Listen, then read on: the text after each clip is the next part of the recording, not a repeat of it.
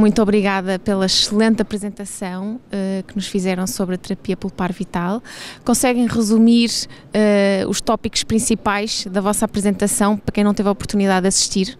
Primeiramente, eh, vimos os aspectos biológicos ligados à terapia pulpar vital e, nomeadamente, a grande mensagem que quisemos passar foi que os avanços na biologia e o desenvolvimento contínuo dos biomateriais proporcionaram hoje em dia que, a TPV fosse, na verdade, uma opção mais fiável para o tratamento de polpas, quer saudáveis, quer parcialmente inflamadas. Completando o que disse a Cláudia, e muito bem, uh, o que nós realmente viemos aqui propor, e, e eu na minha parte, depois da Cláudia explicar toda a parte biológica de como funciona, era pôr na prática, no dia a dia, na nossa clínica e nos nossos doentes, dando como opção terapêutica viável e conservadora eh, para os colegas médicos dentistas, antes de fazer o tratamento endodôntico não cirúrgico, tentarem eh, a opção de uma terapia pulpar vital e lançaram também uma aplicação que vai ser muito útil uh, no cotidiano dos nossos colegas. Foi desafiador?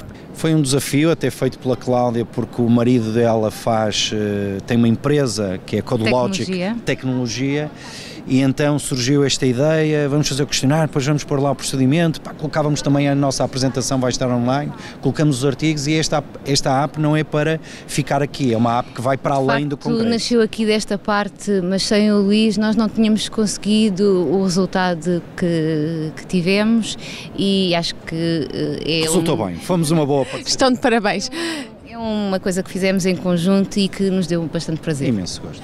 Conseguem definir o congresso da OMD, o 28 numa única palavra? Bem, para mim foi eh, muito entusiasmante, foi a primeira vez que cá falei, eh, o ano passado estive cá em moderação de, de umas palestras, mas foi a primeira vez que cá tive e portanto para mim foi muito entusiasmante. Eu diria que este congresso está a ser avassalador.